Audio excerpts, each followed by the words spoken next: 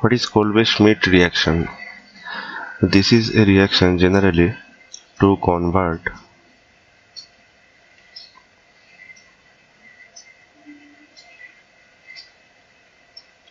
sodium phenoxide derivatives into their corresponding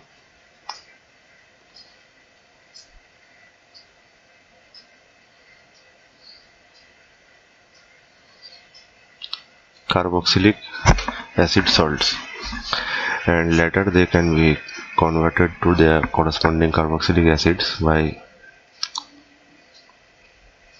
acidic workup.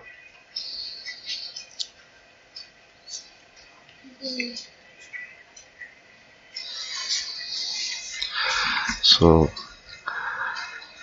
the reaction conditions for Kolbe-Schmitt reaction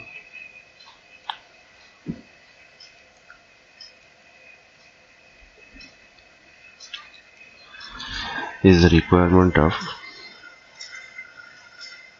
high temperature and pressure.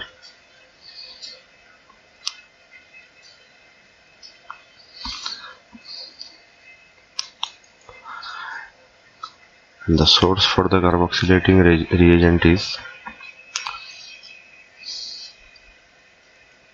gaseous carbon dioxide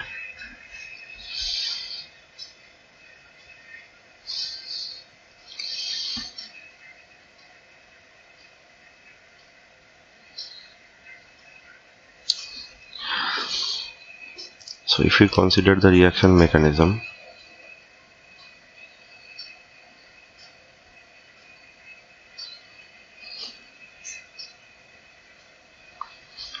Initially the carbon dioxide molecule is being chelated with the sodium phenoxide to generate this intermediate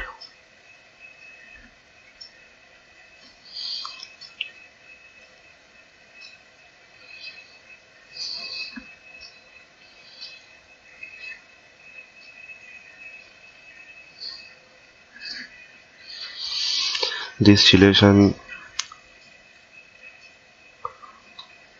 causes two uh, feasible uh, outcomes. Number one is it actually activates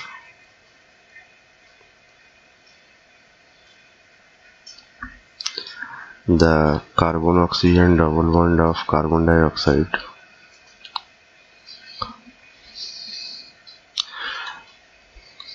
to uh, to convert carbon dioxide in a better electrophile.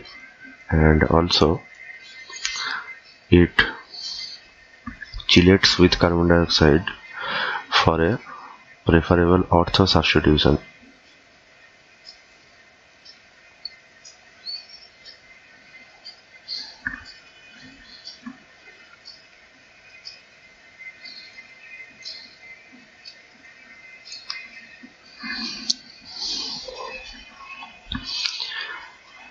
okay so in this chelate intermediate the negative charge of the phenoxide anion facilitates the nucleophilic attack of the benzene pi electron cloud towards the carbon center of carbon dioxide molecule.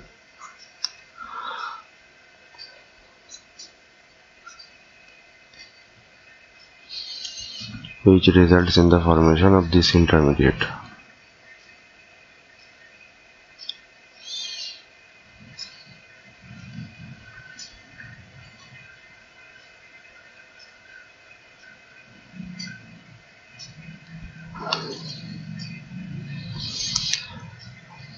and then the rearomatization step happens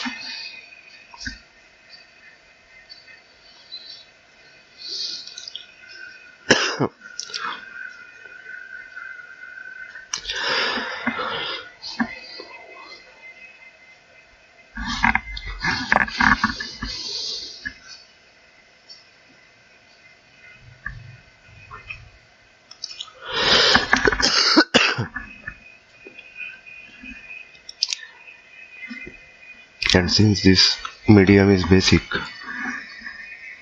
the actual product is being formed is the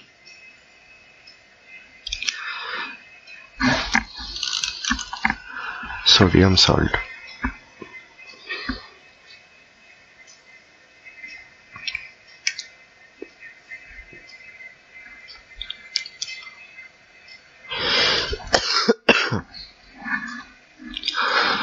Which then can be converted to the actual desired product by acidic workup.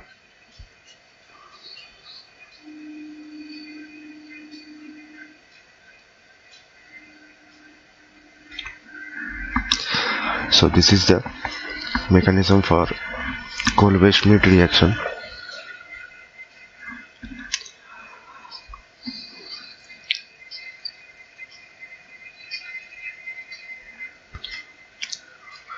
Potassium plus is not suitable for orthoselectivity.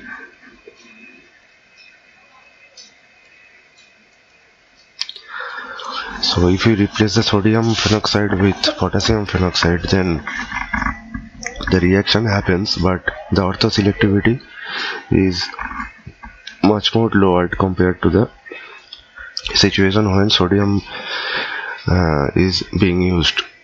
So what is the reason for this? Obviously the potassium sorry. So obviously the potassium plus ion being a large cation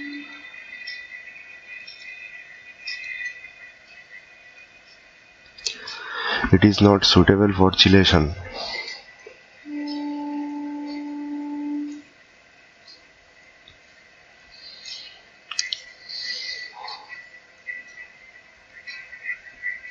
and that's why the orthoselectivity is lost.